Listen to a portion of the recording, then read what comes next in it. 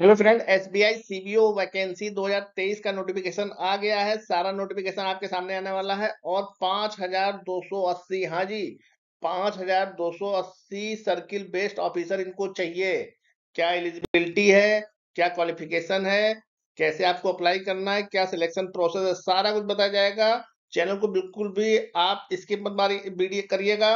अब देख लीजिए, स्टेट बैंक ऑफ़ इंडिया ने रिक्रूटमेंट निकाला है पाँच हज़ार दो सौ अस्सी वैकेंसियों के लिए और ये सीबीओ है, ठीक है? सीबीओ के लिए इन्होंने निकाला है और इसमें 22 नवंबर, यानी कि कल दिनांक 22 नवंबर से इसमें ऑनलाइन रजिस्ट्रेशन चालू हो जाएगा और जिसकी लास्ट डेट रहेगी 12 दिसंबर, ठीक है?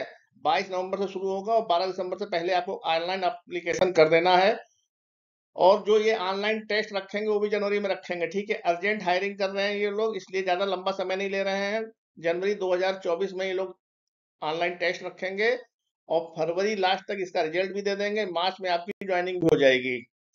अब एलिजिबिलिटी क्रिटेरिया की बात करें तो eligibility criteria S B I के लिए क्या रखेगी, वो देख लीजिएगा। Any graduate in any discipline आपने बीए किया है बीएससी किया है, किसी भी यूनिवर्सिटी से या बीकॉम किया है तो आप इसमें अप्लाई कर सकते हैं। अगर आपके पास मेडिकल की डिग्री है इंजीनियरिंग की डिग्री है चार्टेड अकाउंटेंट है एमबीए है तो भी आपके लिए वैकेंसी इसमें निकाली गई है।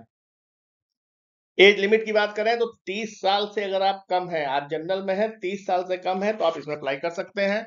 एस सी को जैसा रिलैक्सेशन दिया जाता है, पाँच साल का वैसा मिलेगा ओबीसी के लिए तीन साल का रिलैक्सेशन है। अब आप इसका पूरा नोटिफिकेशन देख लीजिए डिस्कशन में लिंक डाल दिया डाउनलोड भी कर सकते हैं आप लोग, ठीक है?